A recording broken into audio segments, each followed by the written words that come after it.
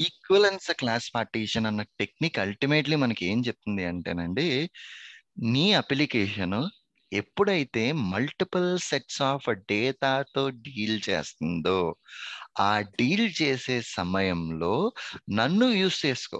ఎందుకు నన్ను యూస్ చేసుకోవాలి? ఇప్పుడు ఒకవేళ నా టెక్నిక్ కనుక నువ్వు యూస్ చేయకుండా మొరటగా పని చేసామనుకో సింపుల్ వే అండి. జనరల్గా మనకి ఎట్లా ఉంటది అంటే రియల్ వరల్డ్లో కూడా technique based work and hard worker so hard work చేసే దాంట్లోనే జస్ట్ ఒక five percent of technique use చేస్తే కనుక టెన్ అవర్స్లో అవ్వాల్సిన పని మనకి వన్ అవర్లోనే అయిపోతుంది. టెక్నిక్ అన్నది మనకి ఎందుకు? మొరటగా చేసే పనిని సులువుగా మనం స్ట్రెయిన్ తగ్గించుకుని చేయడం కోసమే టెక్నిక్స్ని వాడతాం. అంతే కదా?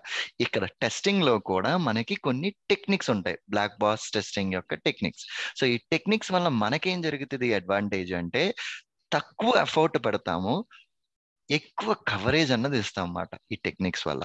అందుకని బ్లాక్ బాక్స్ టెస్టింగ్ టెక్నిక్స్ వాడతాం. అందులో first ECP equivalence class partition ఏం చెప్తుంది అంటే బాబు నీ అప్లికేషన్కి పైన చెప్పిన అప్లికేషన్కి ఇలా మల్టిపుల్ సెట్స్ ఆఫ్ డేటా ఉన్నప్పుడు లిటరల్లీ నువ్వు దాని మీద three to four hours spend చేయాలి. అన్ని అవర్స్ నువ్వు దాని మీద స్పెండ్ చేయక్కర్ లేకుండా నేను ఒక చిన్న లాజిక్ ఇస్తున్నా. ఏంది? ఇప్పుడు జీరో టు నైన్ ఒక గ్రూప్ కింద ఐడెంటిఫై చేసావు. జీరో టు నైన్ ఏది ఇచ్చినా ఒకటే అవుట్కమ్ వస్తుంది అన్నప్పుడు ఎందుకు అన్నిటి మీద టెస్ట్ చేయడం? ఒక్క వాల్యూనే పిక్ చేసుకుని ఆ ఒక్క వాల్యూనే టెస్ట్ చేయి. ఈ ఈసీపీ టెక్నిక్లో మేజర్ థింగ్ వచ్చేసరికి ఏంది అంటే డేటా గ్రూప్స్ని ఐడెంటిఫై చేయడమే మోస్ట్ ఇంపార్టెంట్ థింగ్ మాట. Is the most important thing okay పైన మనం కేటగరైజ్ చేసాం చూసారా? ఈ ఫోర్ కేటగిరీస్ చేసాం ఇది four different set of data groups మనం ఐడెంటిఫై చేసింది. సేమ్ ఇట్లానే ఇక్కడ కూడా అన్నమాట అల్టిమేట్గా గాడ్ ఇట్ సో ఈసీపీలో ఈక్వలెన్స్ క్లాస్ పార్టీషన్ టెక్నిక్లో డేటా మొత్తాన్ని ముక్కలు ముక్కలు ముక్కలు ముక్కల కింద మనం స్ప్లిట్ చేసుకుంటా ఆ గ్రూప్ మొత్తానికి ఒక కామన్ అవుట్కమ్ వచ్చేలా ఉంటే సరిపోతుంది. దాన్ని we call it as an equivalence class partition technique అంటామండి. Got it. And then next వచ్చేసరికి బౌండరీ వాల్యూ అనాలసిస్ ఈ బౌండరీ వాల్యూ అనాలసిస్ ఏం చెప్తుంది అంటే డెవలపర్ ఎప్పుడు కూడా బౌండరీ కండిషన్స్లో చిన్న చిన్న మిస్టేక్స్ వేస్తాడు అందుకని నీ అప్లికేషన్ ఎప్పుడైతే ఒక స్పెసిఫిక్ క్వాంటిఫై అమౌంట్ల గురించి వాటి గురించి డిస్కస్ చేస్తుందో ఆ వాల్యూ ఏదైతే చెప్తారో మైనస్ వన్ ఆ వాల్యూ దగ్గర ఆ వాల్యూకి ప్లస్ వన్ యాడ్ చేసి నీ అప్లికేషన్ ఎలా వర్క్ చేస్తుందో చెక్ చేసుకో అని చెప్తారు. దాన్ని బౌండరీ వాల్యూ అనాలసిస్ అంటారు. ఒక ఎగ్జాంపుల్ చెప్తాను so that you will get this point in a more easy way ఇప్పుడు మనం వైజాగ్లో ఉంటున్నాం అనుకోండి. ఓకే సో మీరు వైజాగ్లో ఉన్న వాళ్ళందరికీ పర్సనల్ లోన్ ఇవ్వడానికి ఒక యాప్ కావాలి అన్నారు. సో వెబ్సైట్ కావాలి అన్నారు software application Vizag local bank dot com ఇది మీ వెబ్సైట్. సురేంద్ర దగ్గరికి వచ్చి సురేంద్ర నాకు ఈ Vizag local bank dot com website కావాలి తయారు చేయి నువ్వు. నా రిక్వైర్మెంట్ ఏంది అంటే నేను వైజాగ్ సిటీలో సర్వే కండక్ట్ చేశాను. నా సర్వే ఏంది? యావరేజ్లీ సిటీలో ఉన్న వాళ్ళ యొక్క మంత్లీ జీతం ఎంత అన్నది సర్వే చేసుకున్నా. ఆ సర్వే ప్రకారం నాకు తెలిసింది ఏంది అంటే వంద మందిలో ninety five percent of the పీపుల్కి టెన్ థౌజండ్ ఉంది అలాగే salary.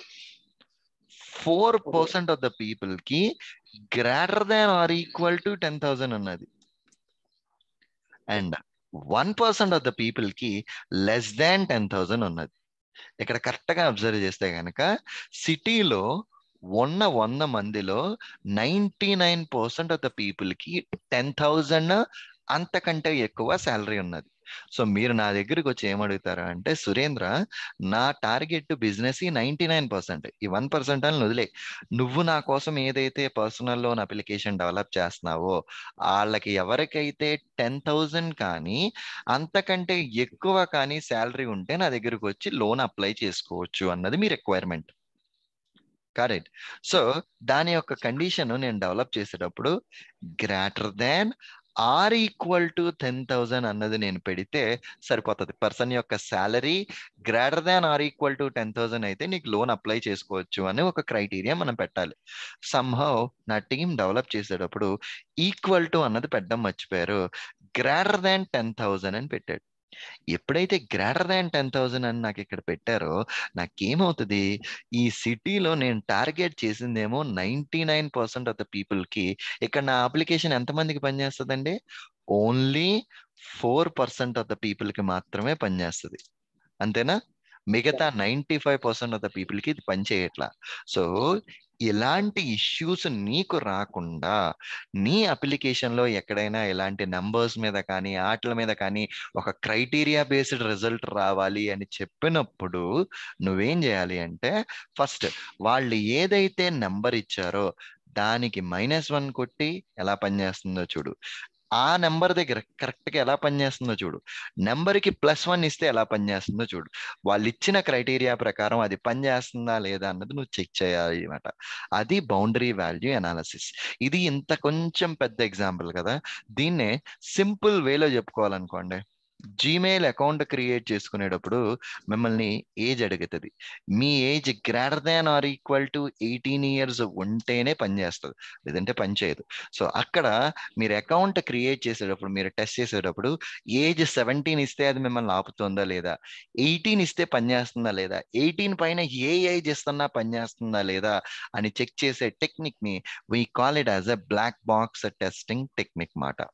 So boundary value analysis మాట బ్లాక్ బాక్స్ టెస్టింగ్లో. ఓకేనా ఎనీ క్వశ్చన్స్ ఆన్ దిస్ అండి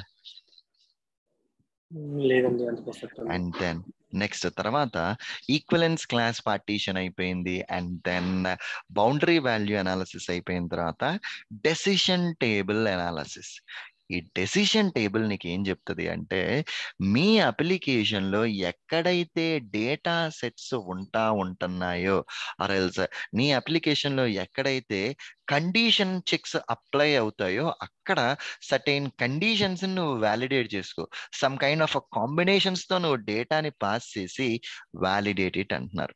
ఏంటి ఒక చిన్న ఎగ్జాంపుల్ కనుక మనం చూసుకుంటే so A B A and B boolean conditions మీకు గుర్తుండే కనుక ఏ ట్రూ బి ట్రూ అయితే ఏ అండ్ బి ట్రూ అని ఈ రెండిట్లో ఏ ఒక్కటి ఫాల్స్ అయినా సరే దీని యొక్క అవుట్కమ్ ఫాల్స్ అని మనకి తెలుసు కదా జనరల్గా సో ఇది ఆల్రెడీ మనకి ఎప్పటి నుంచో తెలిసినదే. దీన్ని మనం టెస్టింగ్లో మీరు ఫ్రీక్వెంట్లీ యూజ్ చేసే అప్లికేషన్స్ మీద ఈ టెక్నిక్ వాడతారండి.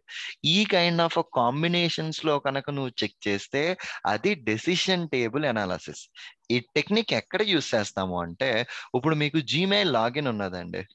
ఓకే? ఏ అప్లికేషన్ అన్న లాగిన్ ఉన్నది. ఏ అన్నది యూజర్ నేమ్ బి అన్నది పాస్వర్డ్ ఏ అండ్ బి అన్నది login status. Okay?